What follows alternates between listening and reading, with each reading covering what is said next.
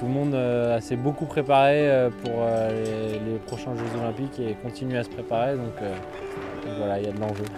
La petite montée d'adrénaline qui, met dans le match, il y en a.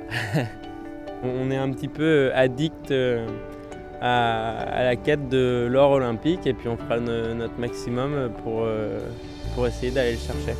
Tout le monde est là, là, là il, manque, il manque personne.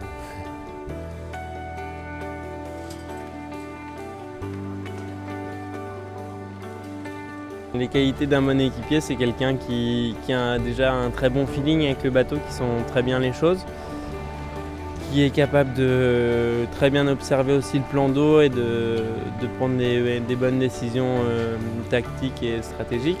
Il faut aussi qu'on s'entende bien et bah, ça fait partie euh, d'une bonne alchimie euh, pour faire un bon équipage. Cet équipage-là, comme les autres Français hein, d'ailleurs actuellement, ils réunissent pour l'instant euh, les qualités qu'on demande aux régatiers, c'est-à-dire ils vont, ils vont vite, ils sont, ils sont habiles euh, dans, la flotte pour euh, trouver les bons placements, bien, bien suivre le vent. Si on rajoute une bonne vitesse en plus par-dessus, on les retrouve souvent aux avant-postes.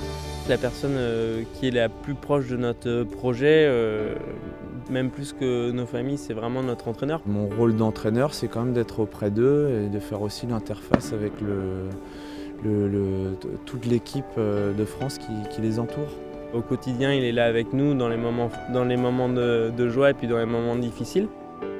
Le grand champion, c'est celui qui arrive à réunir euh, toutes les qualités, euh, la force du travail, la hargne, comme on dit la gagne. Personne n'est parfait dans, chaque domaine. Donc on arrive avec des profils de champions qui sont tous atypiques. C'est pas toujours facile, des fois quand on fait des mauvaises régates ou une mauvaise manche, ou alors l'hiver quand il faut aller s'entraîner dans le froid.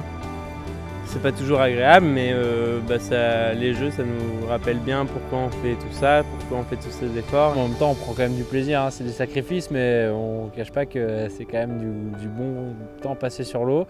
Avec Nico, ça se passe super bien, donc euh, au moins on est tous les deux, donc ça, ça va, c'est cool.